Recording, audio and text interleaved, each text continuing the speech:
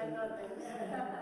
I el Ramon continua enregistrant perquè el Ramon, no sé si ho sabeu, però té un, té un fons d'enregistrament d'actes eh, a favor de les llibertats de la llengua que és molt, molt, molt interessant. Gràcies Ramon, gràcies Òmnium, gràcies a tots els que sou a la taula i endavant. Molt bé, gràcies. Bé, som-hi doncs, mireu, dir-vos que és un honor molt gran com a presidenta d'Òmnium del Tarragonès presentar aquest llibre, Mestres de Mestre, eh, i més quan aquest any celebrem els 50 anys de la, de la creació de l'entitat. De veritat que estem molt contents que el Javi estiguis aquí amb nosaltres. Eh, penso que ja només quedava Tarragona, perquè si o sigui les xarxes, aquest llibre va per tot arreu. Per tant, només quedava amb nosaltres, havies de venir, ens la devíem, eh? Aquesta ens la devíem. Però, és clar, la pandèmia, les mesures sanitàries, el calendari, el temps, eh, tot això se'ns tirava al damunt i eh, havíem de fer-ho en línia, no ens acabava d'agradar i, i bé, mm, per dir-vos que ens fa molta il·lusió i ens fa il·lusió també pels lligams i que tenim en, en nosaltres, en mi i en la ciutat. Eh? I per això aquí hi ha el Marcel i la Teresa de l'Escola Dominiques, precisament per aquests lligams aquesta història, no? Ell no ho sap, eh, això que us diré, però amb les mestres de Vimbodí que ens estima tant, eh, vàrem compartir plegades un temps eh, a la seva escola.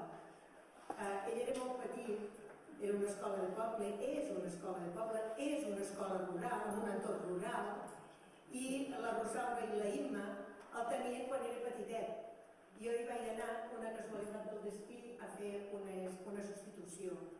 I diu la Rosalda de tu, diu, aquell infant curiós, entusiasta, inquiet, creatiu i ajudat. Diu tot això. Per això, aquell xaval que va ser, avui és capaç doncs, d'escriure'ns això. Per tant, eh, molt contents i molt agraïts de que estiguis aquí, que puguem presentar el llibre finalment i a la Carme, que també hi va ser l'altra vegada, perquè algú d'aquí deu recordar que va, va venir ja a explicar-nos la seva escola, l'Octavio Paz. L'Ester és aquí, va contactar amb ell per el tema de l'altar de los muertos, eh? i ens ho va explicar treballant dins de la memòria històrica. Per tant, eh, bé, és cas de tema. Eh, gràcies doncs perquè finalment ho hem pogut fer i a mi personalment també em fa molta il·lusió i bé, som aquí per parlar d'educació, no? I volem parlar d'això. Està organitzat, és una manera, per tant, prepareu-vos perquè també ens ajudareu, eh? Ens ajudareu, eh que sí? Per tant, res més, som-hi i passo la paraula. Bé, moltes gràcies uh, per estar aquí aquesta tarda de, de dimecres. Gràcies a Òmnium per organitzar uh, l'acte i fer possible no? que finalment a Tarragona, la ciutat, jo sempre la defineixo com bressol del meu aprenentatge docent, doncs pugui acollir després de 16 presentacions pel territori català, doncs la, la presentació i fer-ho acompanyat de les persones que m'estimo, que moltes esteu aquí, però moltes també esteu aquí baix a, a, a, a, a, la, a la platea i que no podíem estar tots dalt a la taula. Gràcies també centre, als serveis territorials per acollir no, l'acte a la Rosa Maria, al Marcel, a la Maria Teresa, a la Carme i a la llibreria Xerà. Crec que serà una presentació una mica emotiva. Jo m'emociono molt, molt fàcil, ja tinc les pessigolles a la panxa i, bueno, gràcies també a, a la doctora Benini, no? que forma part del llibre, que com representant de la, de la, de la facultat, doncs també hi és, a la Montse, no? la mare de l'escola Dominiques, de l'Albert, per mi un dels grans mestres, gràcies a la Montse també, al, al, al Santa Maria i a la Montse també de Sant Pau, no? Allà vaig començar les pràctiques, o sigui que avui estic en família, segur que em deixo l'Isabel, em deixo moltes de les persones, no? Com, com podeu veure la portada del llibre, per mi Tarragona és part de la meva vida i havia d'estar no? en, en aquesta coberta. Hi ha els tres uh, escenaris més importants no? on estic creixent com a mestre i sobretot també com a persona. El primer és Poblet, Vimbodí, el segon és Tarragona i després ara tinc la sort d'estar a, a Barcelona. Per tant, anirem descobrint, no? amb l'ajuda de la Maria Teresa, del Marcel, de la Carme i de la Rosa no? i aquest aprenentatge que va guardant eh, aquest llibre. Per tant, bona tarda a tots i a totes. Moltes gràcies per compartir aquesta tarda el resultat final d'aquesta aventura d'aprenentatge i d'escriptura del relat de mestres d'un mestre que l'editorial Columna fa gairebé ara dos anys, perquè el dia 4 de novembre ja farà un any que ha sortit el llibre, doncs el va encarregar. Va venir entre les mil visites que tenim a l'escola l'editora a, a visitar, jo pensava visitar l'escola, però no va ser així. No? Després de la visita i de parlar amb ella em va encarregar aquest projecte no? que avui podem presentar aquí a la ciutat de Tarragona. Mestre és un mestre narra la història de la construcció dels meus aprenentatges i del meu mestratge a través del reconeixement, i això per mi és la base, aquelles persones que m'han educat estimant-me i que m'estan estimant i que m'eduquen alhora. I és per això que aquest llibre ha volgut, o vull que sigui, un homenatge en tot el seu model.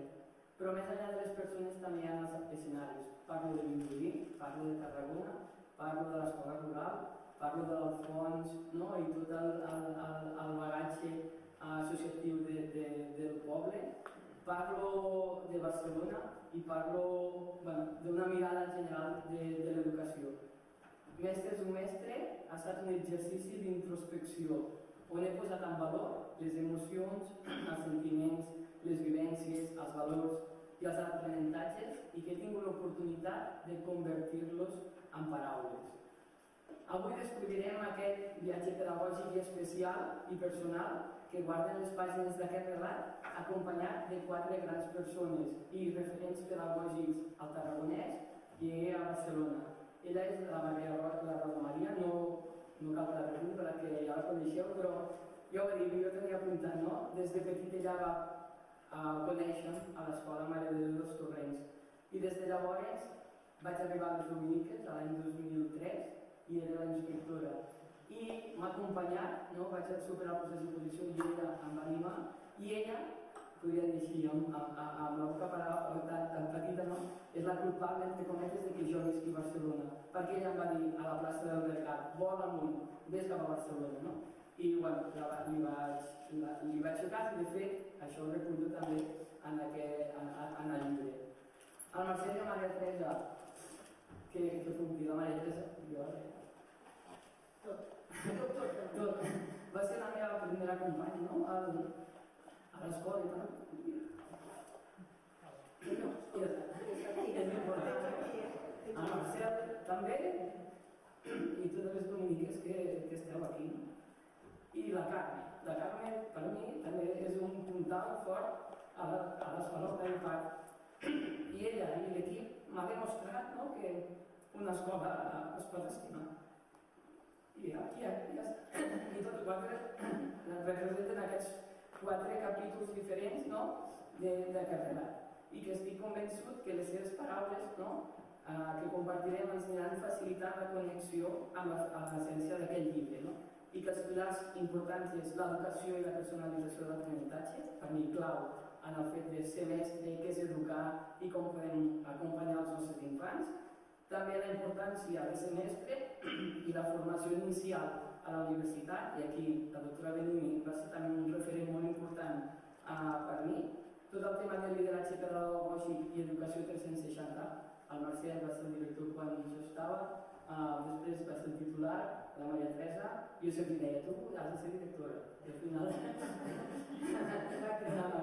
no, no, I després l'Octavio Prat, no? aquesta evidència de transformació educativa que a través dels llenguatges artístics i la mirada globalitzada ha sabut transformar una escola. I ho fem aquí, en aquest entorn privilegiat, com la seu dels serveis territorials eh, de cultura. I és al vell mig de la part alta, un dels espais de la ciutat que a mi ens cor robat i que quan ho vaig a Rosemary ho farem allà vaig dir sí, no? Recordo la Isabel quan, i, i, i no les dominiques al Santa Tecla, que passàvem aquí hores amb les gralles, uh, els gegants, la processó de Santa Tecla, per tant, és un espai ple no? de Sant Pau, no? que tenim aquí, que és que per tant, és un espai que, que, que m'he provat no? i que és aquest present i aquest passat de, de Tarragona i un escenari de la convivència de les arts, de la cultura, del folklore Per tant, que millor de fer-ho aquí a la part alta. L'essència de mestre és un mestre recull la màgia que ens ajuda als educadors, ho he volgut intentar, no? que, que, que, que quedi plasmat, a entendre la nostra tasca des d'una manera personalitzada, no individualitzada, sinó personalitzada i que dona respostes a les necessitats de cada infant i de cada mestre, sent alhora una eina molt potent de transformació social, global i democràtica. A mestres i mestres defenso una escola per a tots i de tots. Jo en algun capítol jo us he dit que és un exercici d'introspecció, ho vaig passar molt malament i sobretot va ser a, a, a, a batxillerat, a, a BUC, no?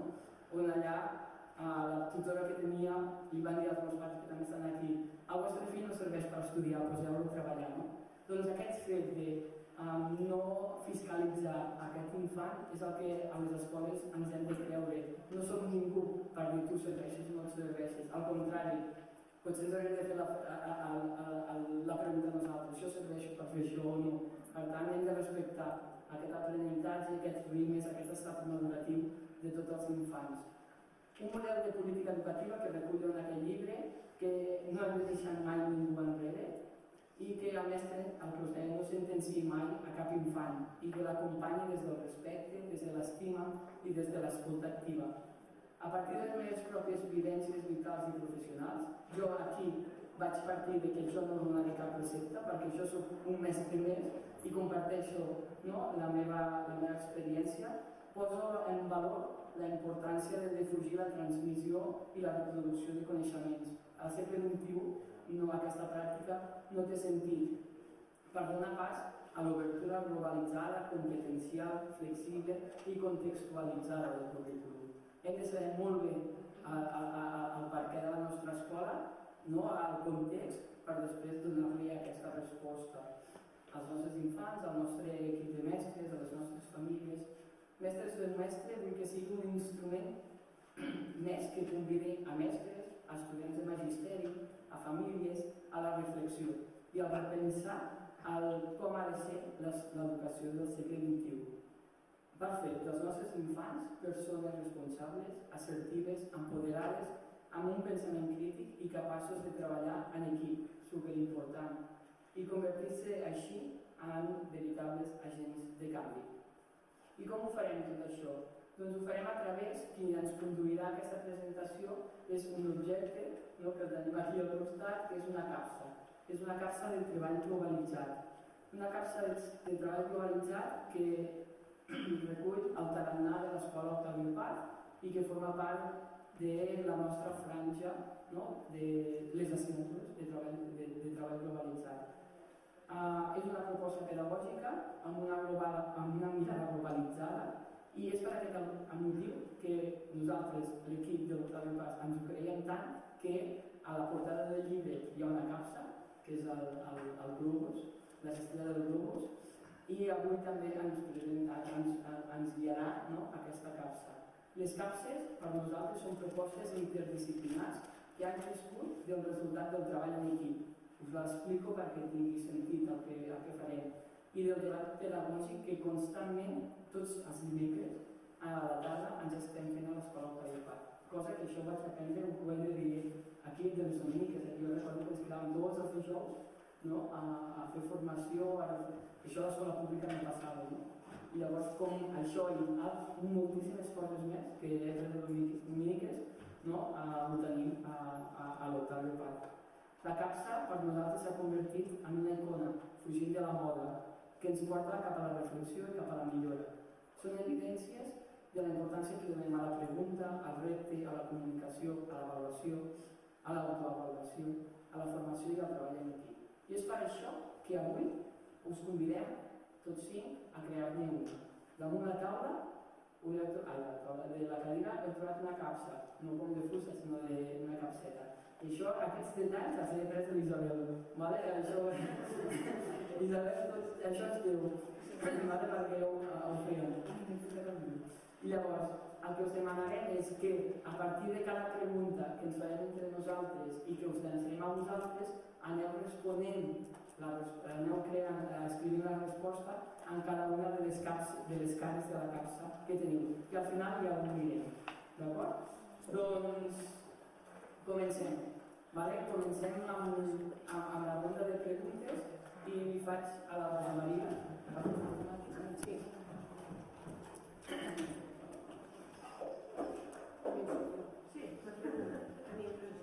I la pregunta que faig a ella i que també faig a vosaltres és, en una paraula, què és per tu l'educació? La primera que us ha passat pel cap. En una paraula, què és per tu l'educació? Respon? Sí. Doncs jo poso dos, eh? Vale. És un dret humà. Per mi l'educació és un dret humà. És això. Completo? Sí. Doncs eh, eh, per mi l'educació dic que és un dret humà, és un dret humà per a tothom, afegeixo, eh, és un dret humà per a tothom i al llarg de tota la vida. I cal, i és necessari i urgent que aquest dret eh, vagi acompanyat de gran qualitat. I ara ve una reflexió que és com que l'educació és un tema tan rellevant, tan important, jo m'he preguntat moltes vegades, clar, és molt important. Cada vegada que tenim un govern que es presenta, cada vegada que un govern eh, vol ocupar-se ens fem callar, no? Per què? Perquè ells saben molt bé, els governs, les nacions, els països, què vol dir tenir a la mà a l'organització d'aquest dret, que és l'educació. Saben molt bé el que vol dir. Per què? Perquè és molt important.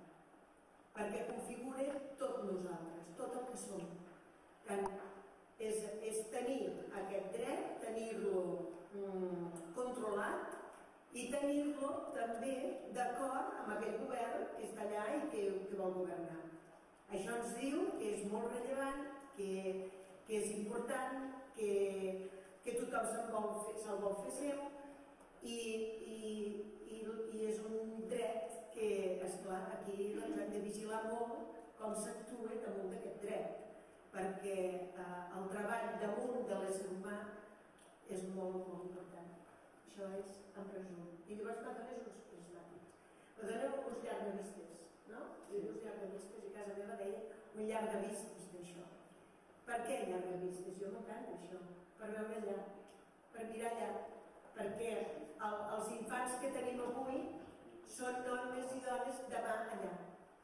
I tenir-los ara aquí, no? a, a la mà, a les nostres mans, no vol dir pensar en ara, vol dir pensar més enllà. I què s'hi lliga amb aquest més enllà?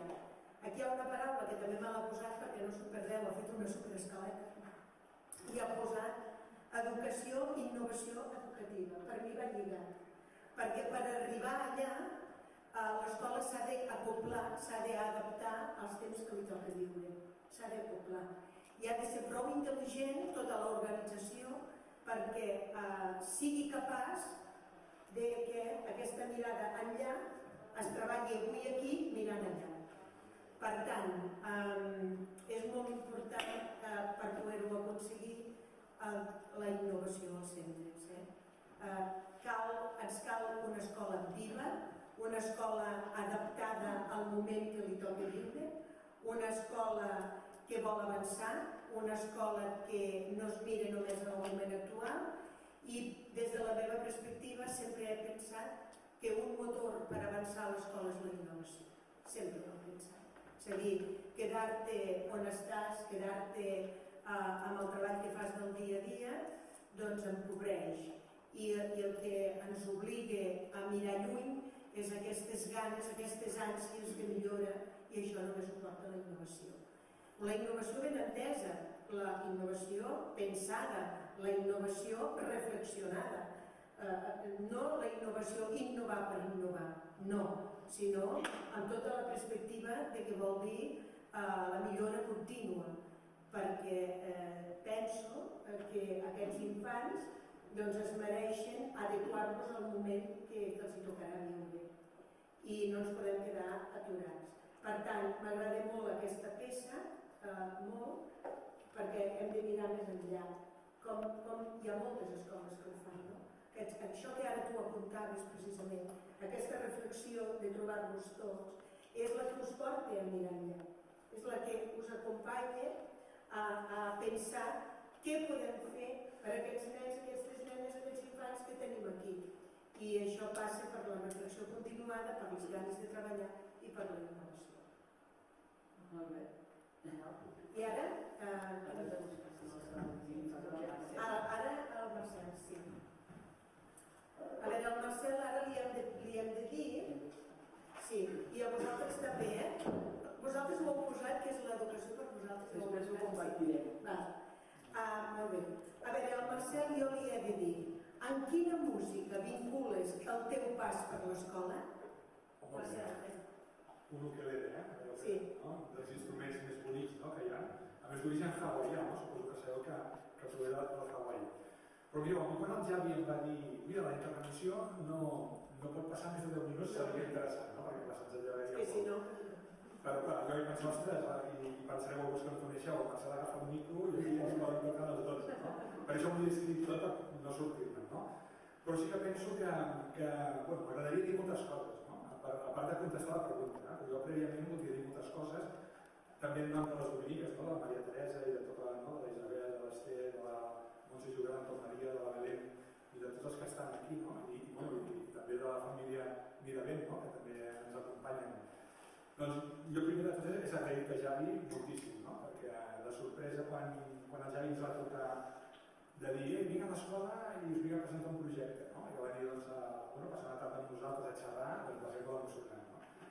I, però clar, quan vam rebre el llibre i vam començar a llegir-lo, l'emoció ja va ser i és la veritat, no?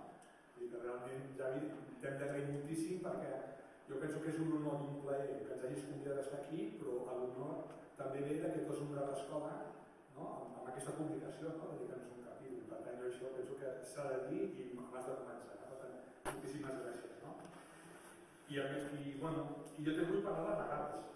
Jo penso que avui és un, tenim un triple regal, i això que el Nadal la tenim una mica lluny encara, eh? però com ja comencem a ensumar, no? perquè després de la pandèmia tenim ganes de festa, el Nadal s'ensuma. Jo penso que avui és un triple regal. Primer perquè presentem un llibre, no? el llibre del Javi. Per tant, la presentació d'un llibre ja no cal dir que és un, és dels millors regals que podem tenir, que hem d'anar fomentant, no? que continuï. No? Perquè amb tantes tecnologies, els llibres de paper han de continuar presents. No? Bueno, I és un, segon, és un segon regal perquè és un llibre que parla d'educació. I això és el nostre, no? Parla d'educació des del cor. I no és una educació teòrica, no? perquè el, dius, bueno, llegirem quina teoria ens diu aquí, però el el que parla és de, de la seva teoria feta des del cor, i de totes les vivències del cor que ha tingut al pas de les escoles, des de quan era petit fins ara mateix, no? i per tant per mi això és un doble regal. Però clar, els Reis Mags són tres, no? per tant hi ha un tercer regal perquè és ell, perquè és el Xavi. No? I per tant és amic, no? ha sigut company d'escola, és amic, ha sigut graner, no? ha, bueno, han, compartit tantes coses i per tant és triple regal que, que tenim avui aquí. Eh? Per tant jo volia dir això abans de començar. Bueno, I seguint el fil de, de la pregunta que m'heu fet, eh, doncs bueno, jo penso que el que deia està parlant de les arts, no? I està parlant, bueno, han fet la pregunta de quina música vinculo jo la, la, l'estada a les escoles, no? Però el primer és que aquest convenciment de que l'art és aquesta oportunitat que podem donar als infants i joves perquè impulsin el seu desenvolupament primer emocional, mi és molt important, no? Ho fa l'art, però després també intel·lectual, no? Allò de, que abans les arts eren les maries de les escoles, això s'ha acabat d'una vegada, no? S'ha acabat per sempre, no? Amb les arts jo penso que als infants i joves els ofereix un tipus de llenguatge que és molt engrescador i a més poden comprendre el món des d'una altra òptica, jo estic convençut, no? I a més a més s'hi poden relacionar amb creativitat. I a més a més com són tantes arts, no? Amb, un, amb un infant li pot agradar més la música, amb un altre més l'art, de, de la plàstica, amb la pintura, amb l'escultura, però, o el teatre, no? en parlarem molt també de teatre avui, eh? però en definitiva no? és una creativitat que impulsa els nostres alumnes, no? i impulsen a estimar-se el que estan fent, i a més aquell aprenentatge fred, no? que després també diré del que havíem viscut nosaltres. No? Per tant, això és, és molt important. No? Per mi les arts donen oportunitat a tot l'alumnat? Sigui quina sigui la seva capacitat i aptitud, a volar la seva imaginació. No? Tot, som mestres, no? Hem vist quan aquell nen li dius dibuixa alguna cosa o pinta el color que tu et sembli o que m'acaba de preguntar quina música a tu no? t'està donant idees sobre això, no? Doncs, doncs els nens volen, no? estimulen la seva imaginació. No? I jo penso que s'expressen sense por i es motiven a aprendre. Per això és molt important. No? El Javi en el llibre ho diu d'aquesta manera. Diu, les arts són una eina molt potent de cohesió i de provocació de preguntes. I jo penso que el Javi ho ha demostrat en tot el seu itinerari docent, des de l'inici de les dominiques fins ara l'Octavio Paz, no? Perquè realment provocant l'alumne preguntes de tota mena, el que fa és convertir l'infant o el jove, l'alumne, en el subjecte de l'educació i no en l'objecte que molts eren quan vam estudiar nosaltres. No? Penso que ara és el moment, i, i s'està demostrant, que l'alumne és subjecte. Per tant, en, en les arts i provocar preguntes es, compleix això, no? de, de provocar el nen en el subjecte de, dels coneixements. No? Ja no són un objecte i prou. Bé, en tot el llibre es parla de les arts, és una constant, sobretot de les arts escèniques, no? i amb això coincidim, no? perquè és una, és una de les coses que, ens, que a tots dos ens agrada. No? Jo diria que pel teatre el Javi es va, es va vincular a la nostra escola, eh? el capítol 11, el capítol de les comunicacions, mateix ho diu, no? Jo vaig arribar a l'escola, no? la germana social em va cridar perquè jo fos el professor de teatre, no? Doncs, per tant, jo dic, bueno, amb, amb, amb el teatre, gràcies al teatre es va vincular al col·legi i va ser el seu inici de camí professional amb nosaltres, a part d'altres coses que també treballava a l'escola. No? I curiosament, jo aquell mateix any, el 2003, que ja arribava, jo me n'anava a Barcelona a fer el postgrau per dirigir l'escola i deixar el teatre. És a dir, que, el que va fer el Javi va ser agafar les hores de teatre, les classes de teatre que ell en aquell moment estava impartint. No? Doncs, per tant, també aquesta connexió que m'emociona, no? de dir, no sé, aquesta connexió bonica. No? I a més a més, si jo vaig entrar a les dominiques, i els, que, els de les dominiques que són més antics que jo, no? que, bueno, diré que sou, els que esteu aquí sou tots, més antics de, del temps d'arribar, doncs um, jo també vaig entrar per fer teatre. A l'Assumpció també estava, i també em va dir, no sabia de la meva vinculació amb el grups teatre, però vine a l'escola a fer teatre. I el teatre de l'escola nostra ha estat molt de temps una assignatura complementària però obligatòria. Però és aquella obligatorietat entre cometes, no? Que els nens, i tu ho dius, no? parlant de l'Albert, no? l'Albert Miravent, que, que bueno, ajuden molt a promocionar-los en molts aspectes i moltes actituds. No? Deixant que sobre l'itinerari vocacional del Javi i sobretot a les arts, us llegeixi, mireu, a la pàgina 50 del llibre, diu bueno, està ell, parla, parla ell amb l'Alfons Alsamora, que és un referent no, cultural del seu poble, molt estimat pel Javi de l'Incompinà. I us llegeixo textualment, diu, diu el Javi, al llarg dels anys, aquests valors i la sensibilitat per la cultura m'han ajudat a transformar la meva visió de l'educació i el meu rol de mestre, fins al punt de defensar que els llenguatges artístics, i diu ell, el teatre, el cant o la dansa, siguin obligatoris als currículums del sistema educatiu. És una lluita que nosaltres ens hi posem, no? Perquè la a complementari per ser escola concertada, no? però ha, ha d'estar al, sistema educatiu. No? Diu les altres sèries són una poderosa eina didàctica competencial i un important recurs pedagògic aplicable a diferents propostes de recerca i d'aprenentatge, com l'expressió, la creativitat, la comunicació, els llenguatges artístics, les habilitats socials, la llengua i la història. Imagineu-vos no? la, la riquesa que té. I acaba dient, a més, ajuden a configurar els principis didàctics de socialització, comunicació, globalització i interdisciplinarietat. I també fer que els infants puguin aprendre els diferents sabers. El saber, el saber fer i el saber ser. Que no cal, afegir res més no? en el per què les arts són un dels pilars fonamentals no? de l'escola de l'Octavio Paz, són un, un pilar bastant important a la nostra escola i haurien de ser en el futur en, en tot això. No? Bé, doncs com ja he dit, pel teatre el Javi va entrar a l'escola com a mestre i per la música tradicional el Javi no va dubtar vincular-se des del primer moment a la colla de l'escola, que havia nascut a, a les Dominiques fa uns anys i de mans dels mestres, no? perquè en aquella època ja buscàvem cohesionar l'escola perquè teníem ja, començàvem a tenir una diversitat important d'alumnes de, de moltes procedències. No? Llavors ens va anar molt bé per cohesionar-los a l'escola, per cohesionar-los a la ciutat, per cohesionar-los a la llengua i cohesionar-los a la cultura. I això es va funcionar molt bé. Clar, la Javi va descobrir va dir aquí vinc jo amb la meva medalla, no? Vull dir que això també, per tant, ja no és només vinculat amb el teatre, sinó que es va vincular per la música, que ja, i aquí ja comença a sortir el que eh? ja, ja, ja vaig arribant, eh? Bueno, I el Javi també en parla de tot això, no? I a més a més, nosaltres, la nostra colla, pues, bueno, també en parla ell en llibre, no? Vull dir que, que va ajudar a que l'educació no fos un fet aïllat dins de les quatre parets dels col·legis, no? sinó que, que l'educació ha d'estar sempre o ha de comprometre a les famílies i als alumnes a formar part activa de la ciutat, del seu entorn i de, i de tot el que és. No? Com diu una de les cites de l'inici del llibre, que és del filòsof i pedagog dels Estats Units John Dewey, diu l'educació no és la preparació per la vida, és la vida mateixa. No? Doncs, quan l'escola surt fora i quan l'escola fa música tradicional i quan l'escola treu els gegants i quan l'escola fa no, tot el que el Lleopard està fent no?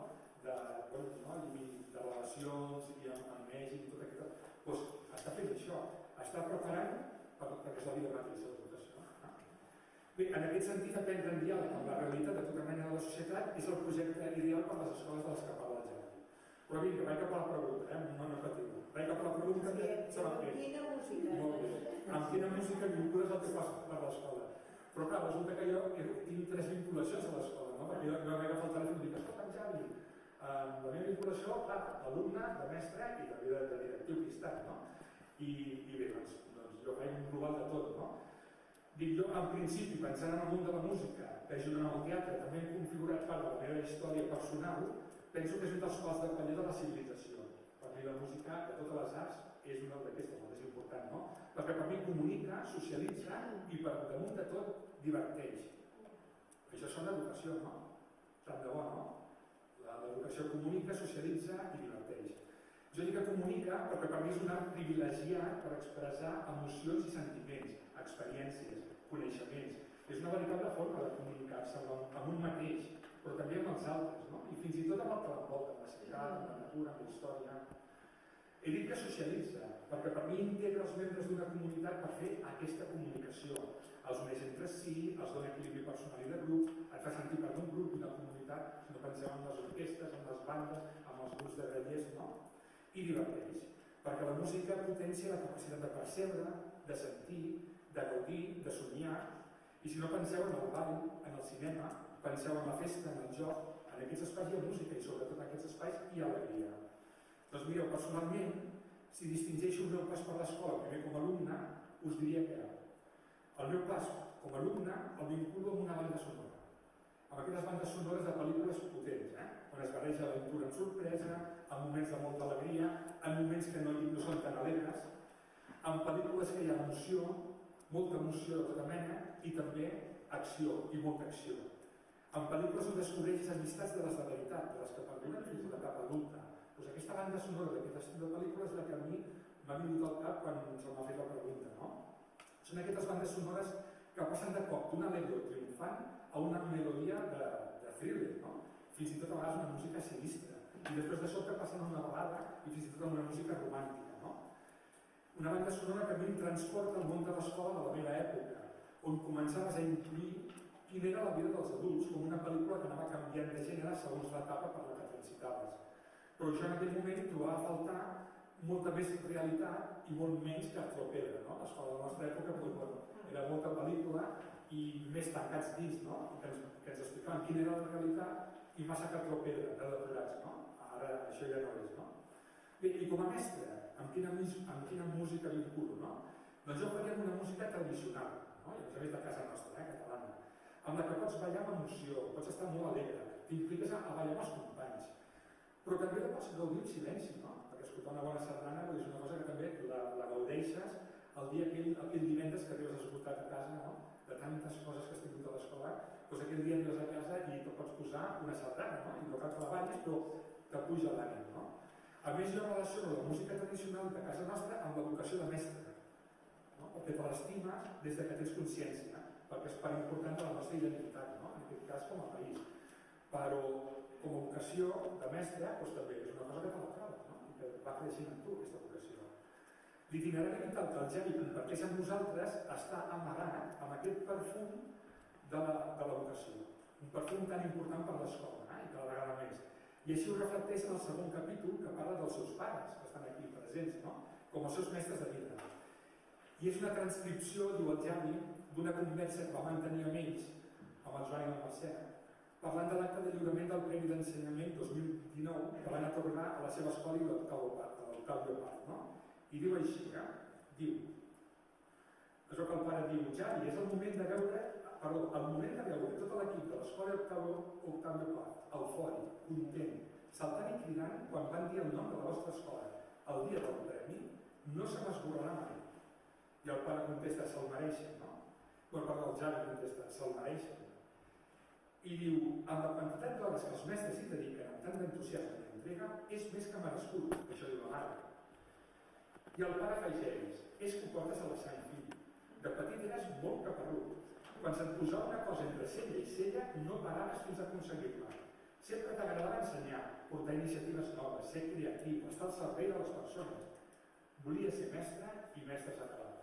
Aquesta definició tan bonica no? que, que el, no? els seus pares, no? el Joan i la Mercè van fer i que, i a més a més ens fa salvar de posar el llibre. No? Però jo penso que aquesta és l'educació i l'educació que compartim, doncs jo diria que tots els que estem aquí. Quina importància té l'educació en la nostra vida no? com a mestres? Importantíssima. Eh? Nosaltres no treballem de mestres, ho som i així ho vivim. No? Nosaltres vivim de mestres. Eh?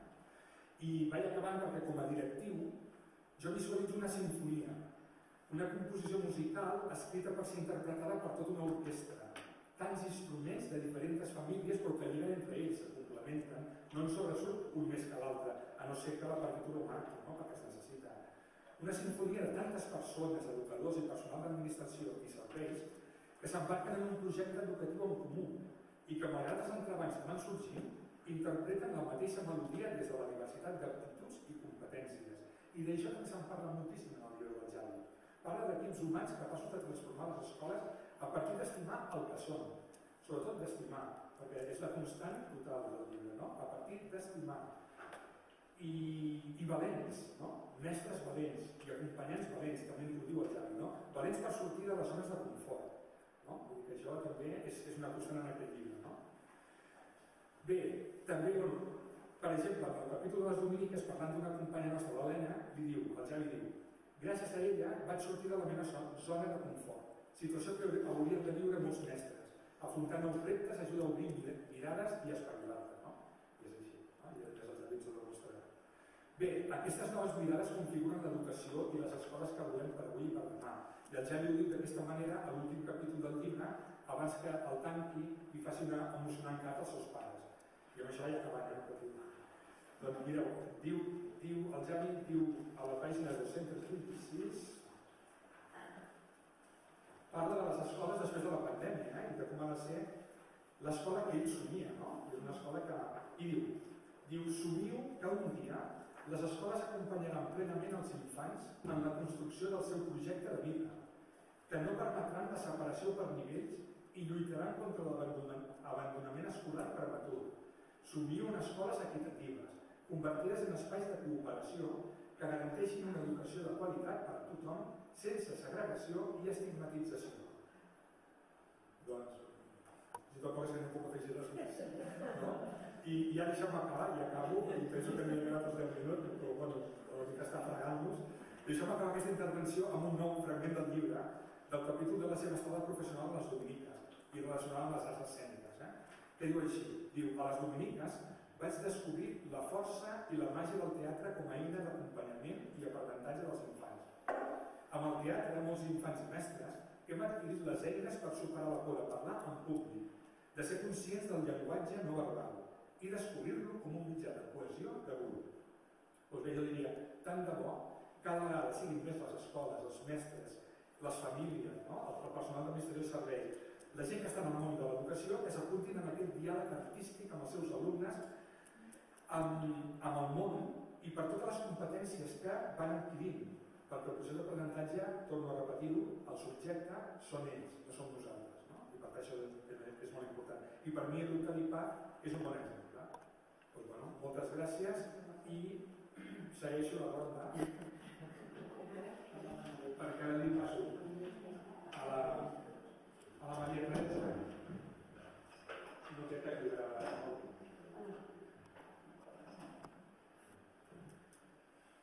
que és un tapís, no? Home, és, un, és un tapís del Patio Pla, no pas pot. Molt bé, i la pregunta que li faig és, bueno, que li faig a ella i que vosaltres podeu portar, és, a quin indret et pots expressar millor tal com ets?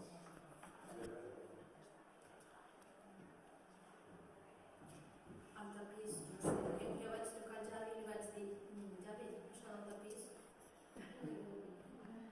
Però bé, després us, us explico què em va portar a pensar. I abans de respondre aquesta pregunta, volia un, un pensament de quan em va trucar el Javi, em va trucar un company, em va trucar un amic, i em va convidar a fer una, una aportació a la presentació del seu llibre. D'això ja fa molt temps. Molt. Eh, I vaig pensar, oh, quina sort, estic molt contenta, estic molt contenta per ell. Estic molt contenta per ell que ha, ha fet un llibre. Però també penso, aleshores penso, jo podria portar alguna cosa? Encara no he llegit el llibre, ni tan sols el tenia encara a les mans. I això ho pensava al voltant de, de les vacances de Nadal de fa ja un any. I en poc temps vaig tenir el seu llibre a les mans, Mestres d'un mestre. Un títol que ja és atraient per ell mateix. Durant aquells dies de Nadal i amb la tranquil·litat que et permeten les vacances, vaig fer una lectura ràpida i alhora detinguda. Ràpida per la seva fàcil lectura i per la forma planera i propera en què està escrit i alhora detinguda per la profunditat de tot allò que hi explica i que hi reflexiona. Un recorregut per la seva vida, ja ens ho ha dit el Javi, enllaçant cada etapa amb una reflexió molt interessant sobre l'educació. En tots i cadascun dels paràgrafs, el Javi, el Javi hi, pots, hi pots trobar vivències personals compartides des d'una honestedat completa i així veus com ha sortit del sentiment i això fa que t'arribi al cor. De tot plegat ja fa uns quants mesos i avui em trobo aquí compartint alguns pensaments sorgits a partir de la lectura. I si em plantejo aquesta pregunta, a quin indret et pots expressar millor tal com ets? Miro el tapís, un coixí, la funda d'un coixí. Doncs el meu primer pensament en respondre seria un lloc amable, amb gent que hi puguis tenir confiança, que et coneguin bé, que et siguin propers, que intentin enfatitzar amb tu, que t'escoltin, que sàpiguen el que vols, el que necessites, on t'hi puguis sentir estimat. I la resposta ràpida i que sorgeix del cor és en família, a la família. Cert que no és un indret pròpiament dit, però si pensem que la família hi trobem l'inici i l'essència del propi infant, cal que pensem que és allí on l'infant és feliç, comença el seu aprenentatge i és on s'hi troba tranquil i segur. La creació del teixit familiar és un dels valors que destacaria del treball que, han anat fent els pares. Això ens ho diu el Javi, referint-se als, seus propis pares, i així ho defineix en el capítol de llibre en què parla de la seva. Els educadors hem de ser molt i molt conscients de la importància de la família en el procés maduratiu i educatiu dels infants durant la seva etapa escolar. Hem de, hem de ser i mostrar-nos oberts a la participació de pares i mares dins les activitats escolars, la qual cosa ens ajudarà a obrir un camí cap a un plantejament d'infants més feliços a l'escola. Partint d'aquest indret familiar, i si parlem ja d'un indret físic, estructural i ambiental, per mi ha de ser un espai que convidi a la tranquil·litat, que sigui lluminós, ampli, agradable, còmode. Val a dir que a vegades les condicions arquitectòniques de cada centre condicionen aquest punt. Eh, però salvant aquests condicionaments ens podem proposar, tal com diu el Javi, que fa en plantejar-se cadascun dels racons de la seva escola. I ens diu així. Sempre tinc cura que l'espai sigui, perdó, que l'espai generi benestar, plaer, tranquil·litat. Ha d'ajudar a connectar el caliu de la llar amb l'ambient d'aprenentatge de l'escola. També argumenta que l'espai genera aprenentatge, provoca relacions humanes, experiències compartides i garanteix el benestar emocional. I amb aquest plantejament, el que hem d'aconseguir, a més a més d'una personalització de l'aprenentatge, eh, i és a partir d'aquest espai que els mestres que acompanyem el procés educatiu dels infants hem d'aconseguir treure el màxim rendiment de cadascú. I aquest és el gran repte. Nous plantejaments, noves estratègies, noves metodologies que facin que cadascun dels nens i nenes de l'escola sigui el protagonista del seu propi procés d'aprenentatge, que ha de ser únic i personalitzat. No hi ha manual d'instruccions que valgui. Citant un altre paràgraf de Mestres d'un mestre, que diu així Mai serà mestre qui no tingui la convicció que tot infant que es posa a les seves mans té un valor. Ens hem de recordar que tots i cadascun dels infants que tenim davant nostre tenen el seu propi potencial i segurament moltes més capacitats de les que a simple vista mostren. La nostra tasca com a educadors ha de ser fer-la sortir i fer-la brillar si és possible. Pas per l'institut, el Javi apunta quan un alumne presenta dificultats, cal oferir-li tots els mitjans per tal que les superi. No hi ha mètodes miraculosos, però cal assegurar-nos que tot l'acompanyament hagi estat professional i a. Penso que sovint sentim que hi ha infants i adolescents desvinculats i que no veuen l'escola ni significativa ni rellevant per a les seves vides. Potser la desconnexió entre la vida dins i fora del context escolar s'està ampliant cada cop més. Ens hem de plantejar per a l'aprenentatge personalitzat que el protagonista del seu propi procés d'aprenentatge sigui l'infant i que els educadors hem d'ajudar-hi, hem d'acompanyar-lo i guiar-lo, respectant ritme, interessos, continguts i objectius. La personalització ha d'anar més enllà de la individualització. Ens cal ajustar, ajustar el ritme d'aprenentatge, la metodologia i eliminar per a tots i cadascun dels infants qualsevol barrera d'aprenentatge.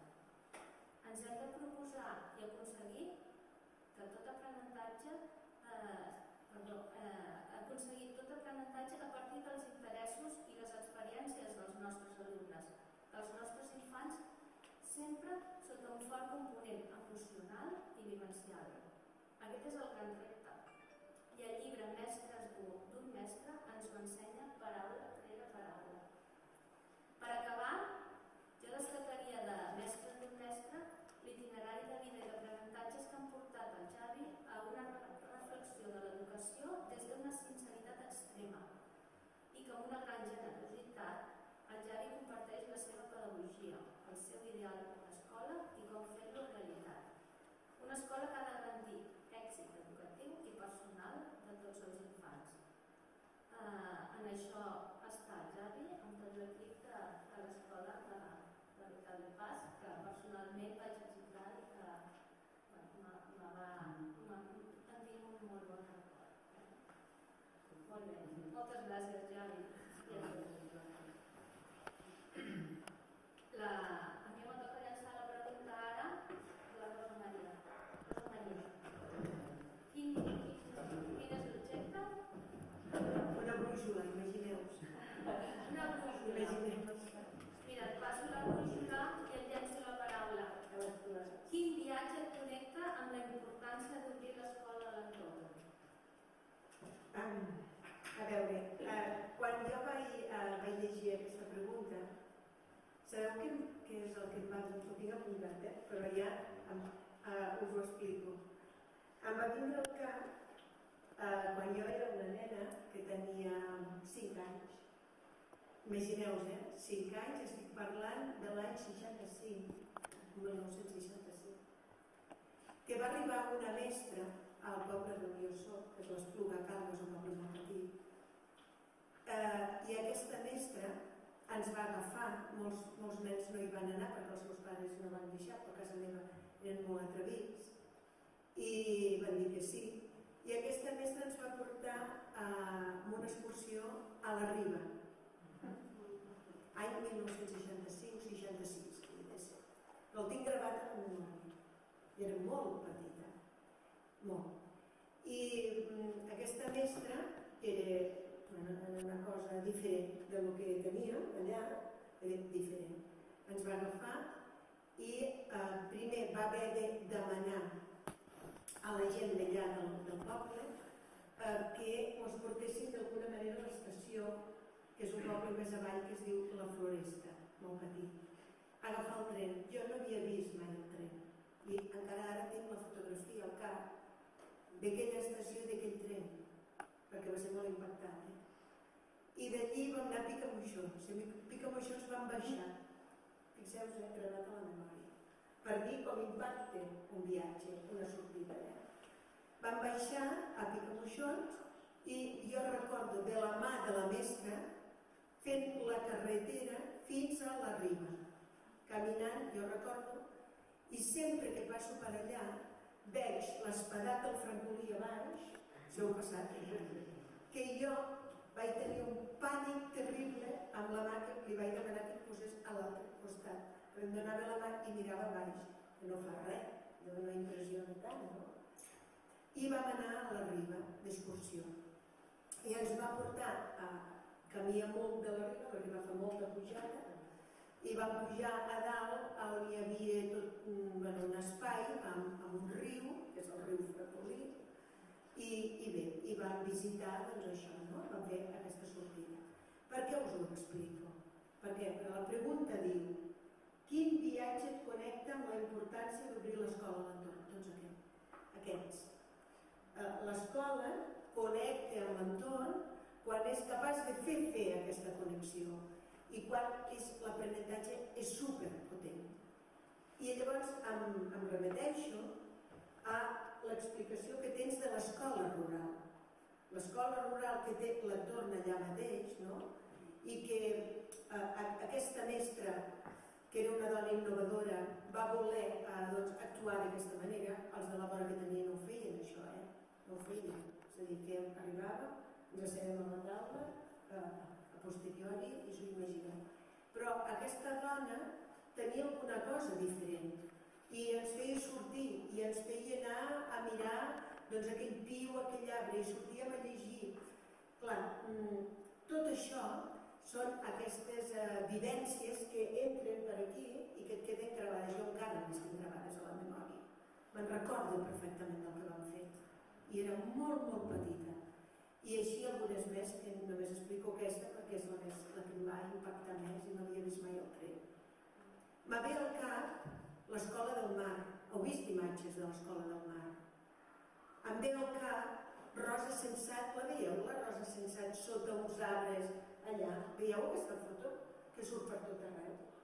És a dir, tot, tot aquest món, eh, ser capaç de que la mestra, el mestre, el professor, eh, faci arribar aquestes vivències que entren per aquí no? i que queden per sempre, aquests viatges, aquesta, aquestes sortides, dieu-vos el que vulgueu, per mi tot això fa que l'aprenentatge entri d'una manera molt potent, en primer lloc. Però després quin valor té més? Quin altre valor? Per mi un altre valor, que també me'l poses aquí, és la cohesió de l'equip, el valor de l'entorn proper, estimar el que tens a la vora i no més lluny. Tot això són uns valors tan grans, tan tan grans, que, que, que et queden impregnats per tota la vida, que no és només l'aprenentatge del, dels ossos que tens al cos humà, aprendre-te'ls de memòria. Aquí hi ha una altra història, aquí hi ha una altra cosa que va per dins, no? I aquí, en el llibre, quan parles de l'escola rural i nomenes aquestes dues amigues meues, val? què diu? Diu, que l'he buscat, eh? Diu, una de les sortides que recorda la Rosaura i que avui seria impensable de fer és quan ella i la recentment difunta, que es va morir, pobreta, la Imma Belló, amb els seus propis cotxes, aquí hi ha molts mestres, això ho han fet, eh? Jo m'ho sé, aquí n'hi ha, eh, ho han fet. I jo també. Amb els seus propis cotxes ens van traslladar a tot el grup fent viatges enmig d'una muntanya perquè observéssim i documentéssim com pasturava un ramat de cabres. És veritat, això, això és veritat. Això ho hem fet. Què? La mestra. Veus, eh? Veus, eh? Això sí que són experiències d'aprenentatge significatiu. Aquell record d'intentar buscar respostes a la infinitat de preguntes que teníem davant nostre com i per què menjaven herba, com es relacionaven entre elles, per què sempre anaven juntes, quina funció tenia el gos i per què el pastor cridava, etc. Per tant, no? Jo penso que uh, diu quin viatge, jo vull connectar això, aquest viatge de la vida, aquest viatge del dia a dia i aquest viatge que ens porta a la cohesió d'equip, que ens porta a l'estima de l'entorn proper, i aquesta ha de ser la brúixola. La brúixola que ha d'orientar el, nostre aprenentatge és aquest. És el que està, que, el que està lligat a, a la persona humana, al propi ésser. I després s'hi col·loquen tots els coneixements i tot el que vulguem. Però la base és aquesta. Per tant, aquesta és la meva resposta. I ara la vull? Sí. A veure, a la Carme. Amb quin color pots representar el bon mestre, Carme? Color, tu color. Doncs, doncs vinga, som-hi, bona tarda a tots. Doncs, no sé, ara tinc aquí unes notes, però m'ha vingut al cap això del color esperança, perquè quan va venir el Xavi va omplir l'escola Paz, i estic en representació dels grupis que, que, que venim a vegades, la Rosa, l'Helena, l'Elias i, i tots els altres, la Laura, tots els altres que estan allà, però aquest color esperança, però per la- de l'esperança no n'hi ha prou per menjar-ne cada dia, oi? I per treballar a l'escola tampoc. I aleshores en Xavi va, va, va portar altres coses com això que deia la Rosa Maria de la cohesió d'equip, no? sobretot la formació i, i el conèixer-se. I aquesta ha sigut un, una de les claus de l'èxit, jo crec que és una de les claus de l'èxit, perquè de vegades el Xavi fa anar, va, anem, anem, a- mirem el valer per l'aeroport de Barcelona i anem. Vinga, va, que anirem a cuinar i anem a cuinar i fem farcellets de verdures ja sabem. I de vegades hi ha gent que quan arriba a l'escola pensa que per què? Jo sempre he tingut una resposta i és perquè després en el dia a dia, en el conèixer un infant, en el compartir informació, hi ha coses que es transmeten amb les paraules i hi ha coses que es transmeten, com deia, per les emocions, per, perquè ja saps el, el que pensa l'altra persona, perquè pots parlar amb més confiança, perquè sempre hi ha algú disposat a, això, a fer un cop de mà, si arriba, si et veu que necessites, i moltes vegades no cal ni demanar-ho. I això és un exemple d'ell, perquè ell també fa així. Ell passa per allà i diu, aquesta motxilla portem allà. I diu, va, i aquest mural, o aquest, aquest cartell, i, i sempre està donant, ajudant. I és el primer que, que, que que agafa el que sigui i ho fa. I això em va impressionar molt quan va arribar a Tavera. Bueno, intentaré no allargar-me dels 10 minuts. I dic que al llarg d'aquestes presentacions he contestat aquesta pregunta dels colors moltes vegades. I he sentit a l'auditori, que espero que esteu posant un color, també moltes respostes. I sovint ens referim a un color que ens és plaent, que ens porta records agradables. I representen un bon mestre l'amplitud de mires que ens proporciona el del Weimar o el verd viu i, la, i ple de vida als camps. Aquestes són les respostes que he sentit molts cops. O el vermell, que de vegades és aquell fil invisible que mencionava la a, a Vimbodí, que enllaça les emocions dels infants o de vegades és la passió necessària per fer de mestre. I en el llibre del Xavi ens pinta un, un arc de Sant Martí de mestres que l'han acompanyat i alhora ell n'és un.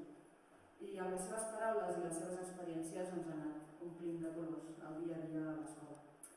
I ens parla d'un... Jo me l'imagino, aquest color de pedra clara de- d'aquí de Tarragona, no? que és tan acollidor, tan càlid, el de la primera escola, el de la família, el de Vimbodí Poblet, que ja és part de la, de la geografia de l'Octavi Parc i de la nostra persona. També hi ha el verd de la Vall d'Aran, on, es retroba amb els estius, amb el lleure, on fa palès que no hi ha educació de primera ni de segona, ni abans de l'escola, un horari lectiu ni fora de l'horari lectiu. L'educació lectiva és un pilar fonamental en l'educació de l'infant. També arriba Blau de Tarragona, un bon llibre, amb la universitat, les primeres experiències com a mestre de la, de la nostra escola, la, la calma de veure complets els somnis i de trobar eines, acompanyaments i recursos a la universitat per exercir el que ell diu que és la feina més bonica del món i que s'esforça per ajudar-nos a que, a que ho fem. I després ve aquesta etapa colonial a Barcelona, perquè ens hem tornat molt moderns, no? on consolida la seva formació, vesteix de mil experiències, la seva etapa com a líder humà d'un grup humà, fent realitat un projecte de transformació educativa que, com ell sempre diu, té com a base les relacions humanes.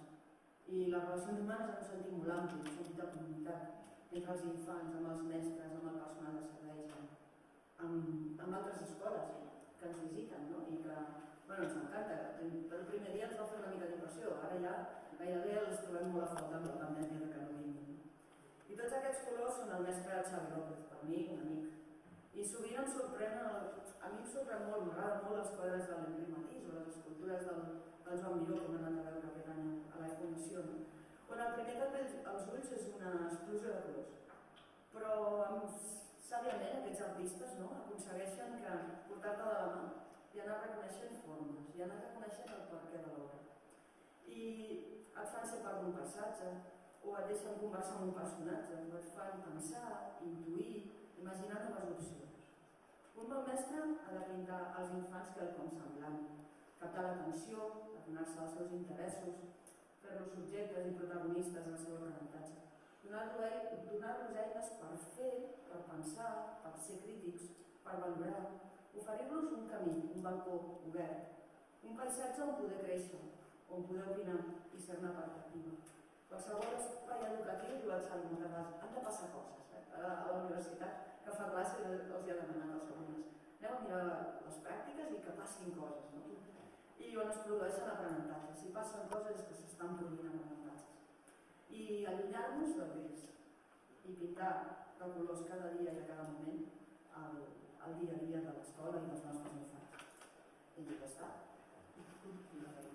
I l'última pregunta, això. A quin mestre trucaries per donar-li les gràcies? Eh, bueno, jo hi posaria la mirada així, i ja ho Bé, doncs aquesta és l'última pregunta i és que el coneixement es construeix en comunitat i per això no, no faig jo la presentació sol, sinó que hi ha diverses experiències, visions i que hem compartit. L'última pregunta, a quin mestre trucaries per donar les gràcies? Al pensar en el llibre vaig voler, des del primer moment, transmetre la idea que l'educació i l'itinerari vital de qualsevol de nosaltres va més enllà de l'escola i de les institucions educatives. Aprenem de les persones i de la vida. Algunes es troben en el paper de mestre, en l'horari lectiu, però també n'hi ha a la família, amb els amics, al poble, en altres entorns. I aquesta idea d'educació 360 és quelcom que com a ciutadans, com a mestres i com a societat hem de tenir en compte. Donaria les gràcies a aquells mestres com els pares, la meva germana, la família, mestres de l'actitud, dels valors, del modelatge, de la responsabilitat i de la constància. La vida a la família no és fàcil i gràcies a la seva capacitat de superació, de resiliència i perseverança, hem sabut i estem sabent tirar endavant. També donaria les gràcies als mestres del context. He tingut la sort de de poble, no? al context rural, però alhora també he viscut a Tarragona i ara Barcelona, per tant al context urbà. Jo sempre he dit això, que soc de poble, que el nom de Vimbrit Poblet l'escampo per tot arreu on vaig. El poble connecta les meves arrels, en Raimon deia, qui perd els orígens, per, qui perd les arrels, els orígens perd la identitat. No? Vimbodí m'inspira i alhora també em relaxa. És on he après no? l'importància de l'associacionisme, del teatre, del laboral, dels gegants, dels grellers. Ha estat l'ecosistema de, les meves relacions humanes. Al context urbà, primer Tarragona, Sant Pau, Universitat, després Dominiques i ara Barcelona, són aquells mestres dels meus aspectes formatius, de les connexions socials i professionals. I també parlo i dono gràcies a aquells mestres de l'amistat, de l'infantesa i de l'adolescència, aquells amics i amigues que m'han escoltat, que m'han donat confiança, que m'han entès i que m'han donat seguretat. I a tots aquells amics del present, als quals comparteixo inquietuds i maneres de fer. I us convido a descobrir a un altre mestre, un mestre molt especial, i amb això acabo. I per fer-ho us demano que obriu la capseta, que infleu el globus, bueno, no podem inflar perquè anem amb mascareta, i que, i que el podeu deixar amb l'aire si ho feu a casa, perquè n'estic segur que molts, que trobareu molts mestres en aquest viatge, però que mirant ens diu, aquest mirall, que el principal mestre d'un mateix és un mateix. Amb això us dono les gràcies i us desitjo que si teniu l'oportunitat de llegir i gaudir de mestres i mestres, tal com he fet jo, primer escrivint-lo i ara compartint-lo amb aquelles persones que més estimo i que aquí a Tarragona som vosaltres. Moltes gràcies.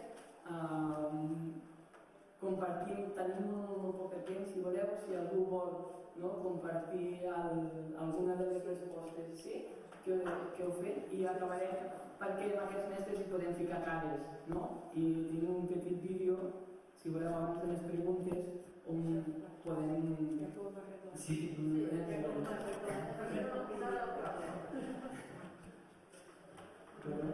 música?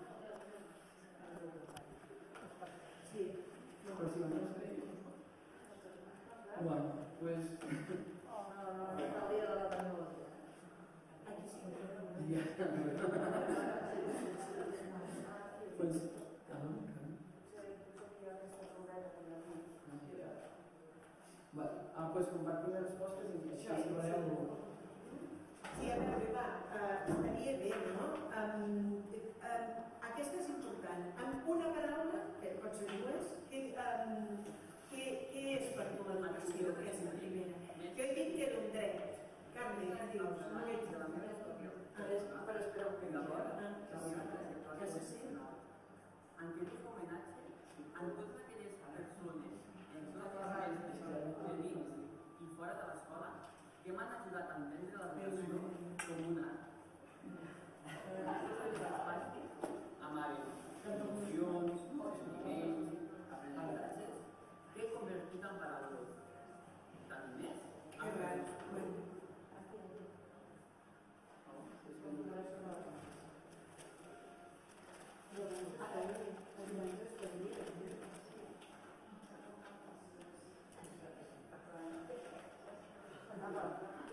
amb el Departament de Cultura Va, si voleu compartim. Sí, compartim això, va. A veure, hi ha un... Um, diu, amb una paraula que és per tu educació. Va, algú se li ha acudit una paraula... Jo dit que és un tren. És un tresor. I tu? Un tresor. Un tresor. Mira, una paraula que dic, és un tresor. Què més? Taca, tu? Un camí. Un camí. Un camí, un tresor. fonaments, que és com una casa, però els fonaments és l'educació. Els fonaments. Els fonaments. Molt bé, mira que xulo. Què més? Va. El primer és aprendre. Aprendre Aprendre. estimar, relacionar-se, respectar, a tot. Molt bé, aprendre. Carles. Acompanyar, estimar. Acompanyar estimant. Rosa. Emoció. Emoció. Sí, emoció. Sí. És veritat. Hi ha alguna paraula més xula que ens surti? Mira quina col·lecció les hauries d'apuntar perquè si vas a lloc tots són col·lecció.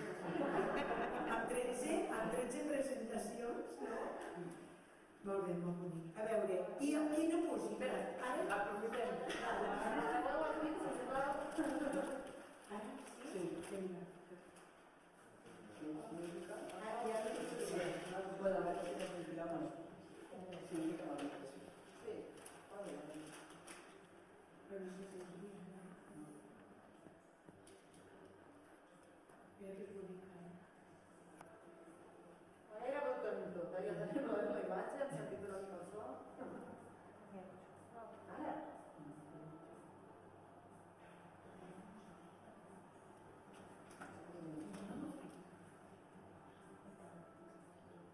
M'aconvido a descobrir mestres d'un mestre. És la, el relat de la meva història personal i alhora la meva trajectòria professional, en què vull fer homenatge a totes aquelles persones i a tots aquells mestres de dins i fora de l'escola que m'han ajudat a entendre l'educació com un art. Totes aquestes pàgines amaven emocions, sentiments, aprenentatges que he convertit en paraules. T'animés a fer-los teu?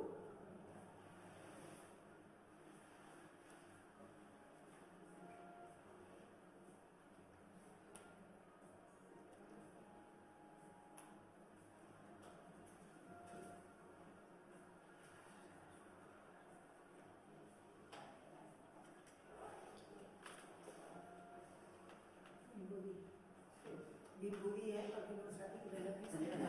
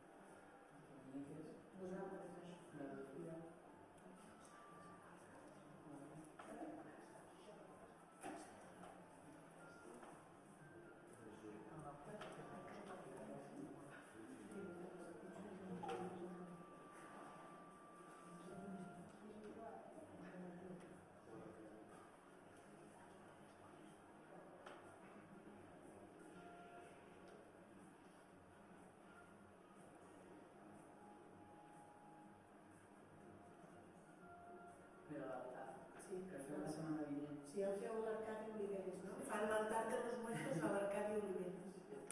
Sí. I després teniu, podem anar. Persones, escenaris, emocions, sentiments, amb una mirada al present i amb un impuls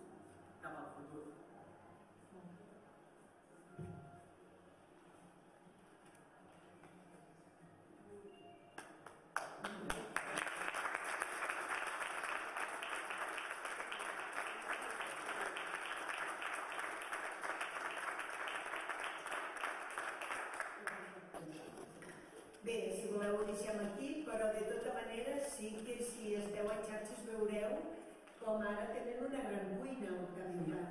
I jo he vist que estàveu fent... Um, feu, ara, ah, quin l'últim menjar que heu fet?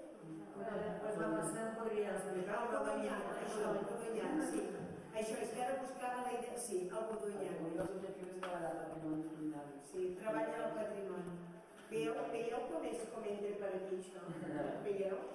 I sí, sí, ho he vist, ho he vist. Si voleu venir a tastar la Mercè. Bé, escolteu, ho deixem aquí, però en qualsevol cas hem d'estar convençuts que hem estat davant d'un mestre, per vocació. I això és molt rellevant, eh?